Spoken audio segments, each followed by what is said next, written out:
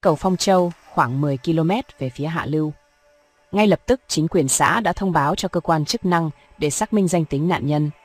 Thi thể được xác định là bà Nguyễn Thị Hường, 48 tuổi, cư trú tại xã Thạch Đồng, huyện Thanh Thủy, tỉnh Phú Thọ. Bà Hương nằm trong danh sách 7 người mất tích trong vụ sập cầu Phong Châu.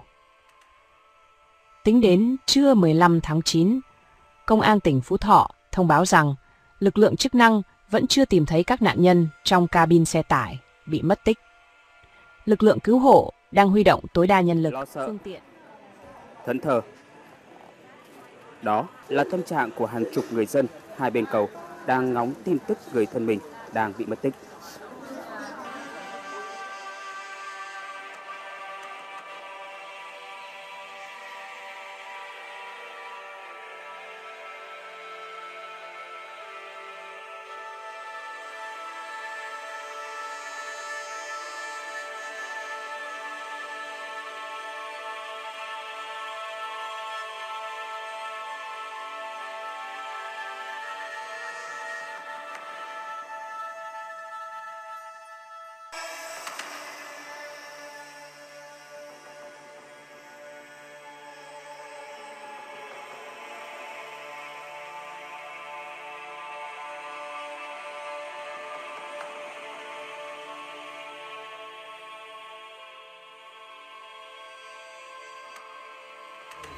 Màu xanh đúng không? Anh ơi, bây giờ hiện nay là nước đang phải rất siết. Các lực lượng ờ, quân đội công an ờ, trực chiến ở đây. Nếu mà khi mà đảm bảo an toàn chúng tôi sẽ làm công tác ờ, tìm kiếm như này. Tổ chức lãnh đạo tỉnh Cảnh số 7 Vlog mến chào cô chú anh chị và các bạn. Thì à, chiều hôm nay cũng à, tầm khoảng à, 4 giờ chiều Mình lại cập nhật cái tình hình à, sập cầu Phong Châu. Hôm nay cũng là ngày à, 15 tháng 9 2024 thì à, chiều hôm nay à, cái lượng nước đã rút xuống tầm khoảng 2 mét của chú bác ơi. Thì những những gì nói chung là nước cũng đã giật khá nhiều. Ở chỗ này, ở chỗ mình đang di chuyển là một cái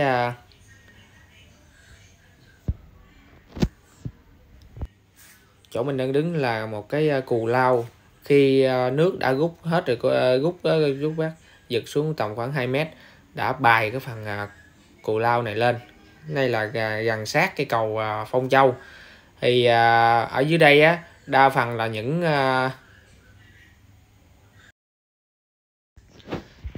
ở dưới đây á, đa phần còn lại là những cây dưới sát động vật khi mà nước giật ờ, xuống á thì ờ, đã à, những thứ à, nè thứ nói chung là gác này kia rồi là nó sẽ tấp ở chỗ đây. Thì mình cũng à, cập nhật những à, tin tức ở khu vực này là nó đã nói chung là cũng tìm kiếm dòng khu vực cái bãi bồi này nè để xem thử coi có tìm được nạn nhân nào không tại vì mình sợ là khi mà nước cúng á, nước uh, ngày hôm ngày 9 tháng 9 á uh, sập cầu á thì uh, nạn nhân sẽ trôi về phía dưới đây. Mình uh, mọi người cũng uh, tìm kiếm khắp khu vực hết. Ở chỗ đây nè bãi bồi đã uh, giật xuống rồi đã uh, nói chung là chỉ là còn lại uh, sình thôi nên có thể là tìm kiếm được ở chỗ đây là cũng như là một cái à, cái đường tràm của chú bác ơi. Bài à, cái phần à, cây đồ lên hết rồi nha. Là chỉ còn sịnh thôi nên có thể là à, kiếm được nạn nhân. Mọi người à, nói chung là chỗ nào có thể tìm được à, có thể dễ kiếm sẽ kiếm mong là sẽ tìm được uh, những nạn nhân còn uh, sót lại. À, giấc chiều này thì uh, lực lượng chức năng cũng uh, quy động uh, khá là nhiều nha. Uh, hôm rồi thì uh, bên uh, uh, công an hay là bộ đội hay là những uh, bên uh, quân đội nói chung là rất là khó khăn để ờ, cực khổ nữa. Để mà đang gấp rút tìm ờ, cho ra những nạn nhân còn ờ, sót lại. Thì sáng nay thì trưa nay thì cũng đã tìm thấy được một nạn nhân là nạn nhân nữ. Thì trong số 8 nạn nhân thì hôm nay đã tìm được một, thì còn được 7 nạn nhân khi mà nước rút rồi á thì cái phần à, cái bãi bồi đã à, còn chỉ là những là cây cối những là rác thải thôi nha. Nhưng mà mong là cũng là có thể là nó sẽ nạn nhân cũng có thể là ở trên những cái uh, trôi lên những cái chỗ này. Thì không biết như thế nào thì cũng phải uh, tìm kiếm thôi cô chú bác ơi. Nói chung là được uh, nói chung là tìm à, đủ mọi nơi thì chỗ nào cũng có thể là nạn nhân có thể trôi tới. Điều à, kỳ diệu sẽ đến. Thì uh, chiều nay thì cũng có khá là đông uh, thân nhân của nạn nhân đang uh, dùng là cũng uh, ở khu vực này uh, vòng quanh để uh, mong tìm được những uh, nạn nhân nha. Người thân rất à, mong chờ điều đó. Mong là sẽ tìm được à, thì chiều nay thì à, lực lượng chức năng công an Phú Thọ với 30 chiến sĩ được trang bị thiết bị lặn chuyên dụng để tiếp cận hiện trường, phối hợp với các lực lượng khác khác khuẩn chương tìm kiếm nạn nhân. Cũng trong sáng cùng ngày, lực lượng cũng tìm kiếm tiếp cận hiện trường cách à, cầu Phong Châu à, khoảng 100 m thuộc khu vực à, 20 xã Dạng Xuân, huyện Tam Nông. Thì tại đây thì lực lượng chức năng phát hiện ô tô đầu kéo mang biển số 19G 001111 đang mắc kẹt trong một cái cái cây cầu luôn, nghe của chú bác. Là khi mà xe đầu kéo á, nằm ở phía trong á. Nói chung là rớt xuống rồi thì không thể nào mà à, trôi được. Sẽ nó sẽ dính vào cái phần à, cây à, cây cầu luôn nha.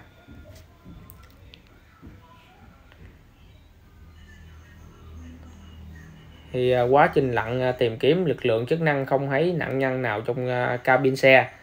Sau khi lực lượng cứu nạn cứu hộ của công an tỉnh Phú Thọ và bộ chỉ huy quân sự tỉnh Phú Thọ tiếp cận hiện trường. Vị trí chiếc xe tải bị rơi trong sập cầu Phong Châu đã không phát hiện tài xế bên trong. Đây là vị, đây là vị ờ, trí, chiếc xe tải biển số ờ, là rơi ờ, ngày 9 tháng 9 luôn.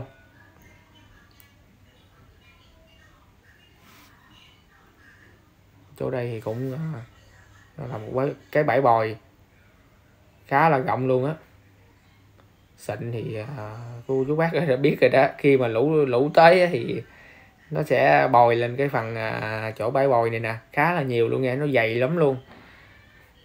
Nói chung là người dân phải à, nói chung là bên chiến sĩ bộ đội đều túc trực tìm kiếm khắp mọi nơi luôn.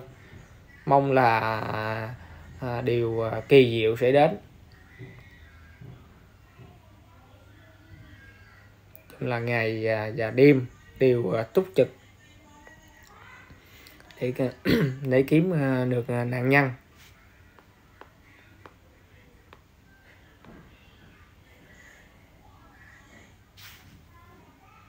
Ôi cô chú bác ơi. Những uh, khi mà nước uh, rút xuống 2 mét đó là cái phần bãi bồi này khá là rộng luôn.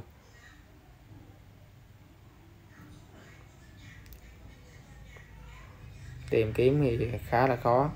Còn tới à, 7 nạn nhân nữa. Khi mà cái lượng nước khi à, lượng nước à, khi sập cầu rồi khá là lên nước cao lắm. Ừ, ở đây có một chiếc chiếc xuồng nè. Chiều nay lực lượng chức năng cũng rất là nhiều nha. Tìm kiếm đủ mọi phương tiện chạy khắp nơi. Nói chung là chạy vòng khu vực này 10 20 cây số 30 cây 40 cây số chung chú bác đây quá chèn luôn rồi.